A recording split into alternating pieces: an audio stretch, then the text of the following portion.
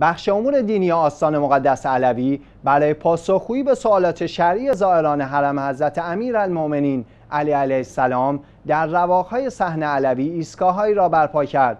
به گزارش شیعه وبز رسول القرابی مسئول بخش امور دینی گفت ما ایستگاههایی را برای پاسخگویی به مسائل شرعی در داخل صحن مطهر علوی و رواق حضرت ابو طالب علیه السلام برپا نموده ایم.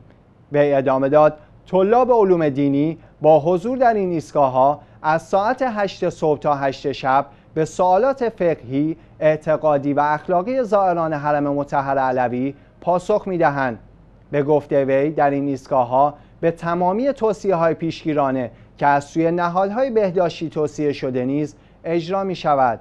شاین ذکر است کشور عراق از ابتدای شیوع ویروس کرونا با در نظر گرفتن تمهیدات متناسبی توانست تا کنون با تلفات قابل قبول با کرونا مقابله کند. این کشور همچنین توانست با ارائه خدماتی نه چندان پیچیده و رعایت نکاتی پیشگیرانه در به حرمهای اهل بیت علیهم السلام و امامزادگان را بر روی مردم نبسته و آنان را از زیارت محروم ننماید.